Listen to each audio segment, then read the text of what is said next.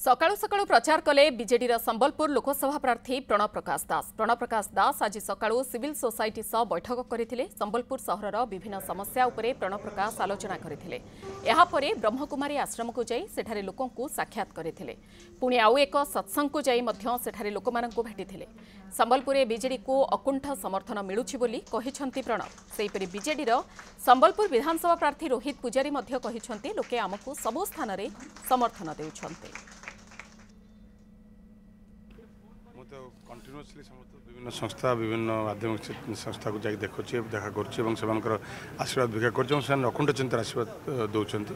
ସେଥିପାଇଁ ତାଙ୍କ ଉପରେ କୃତଜ୍ଞ ଏବଂ ମାନନୀୟ ମୁଖ୍ୟମନ୍ତ୍ରୀଙ୍କର ଯେଉଁ ଏଠି ମୋତେ ପ୍ରାର୍ଥୀ ଦେଇଛନ୍ତି ତାକୁ ସମର୍ଥନ ବି ଜଣାଉଛନ୍ତି। ତେଣୁକରି ଓଭରଅଲ୍ ଦେଖିବାକୁ ଗଲେ ମାନନୀୟ ମୁଖ୍ୟମନ୍ତ୍ରୀଙ୍କର ଯେଉଁ ନିଷ୍ପତ୍ତି ସେମାନେ ଆଶୀର୍ବାଦ ଦେଇସାରିଛନ୍ତି ଆମର ସକାଳୁ ସବୁଦିନ ଆମେ ବିଭିନ୍ନ ପାର୍କରେ ଯାଇକି ହଉ କି ଆମର ଏମିତି ଆଜି ବ୍ରହ୍ମକୁମାରୀ ମା- ମା- ଆମର ଦିଦିମାନେ ଡାକିଥିଲେ ଆମର ଏଠି ସ୍ୱାମୀ ମୁକୁନ୍ଦାନନ୍ଦଙ୍କ ଆଶ୍ରମ ଆମେ ସବୁଆଡ଼େ ଯାଉଛୁ ଏବଂ ସମସ୍ତେ ଆମକୁ ଡାକୁଛନ୍ତି ଆଶୀର୍ବାଦ କରୁଛନ୍ତି।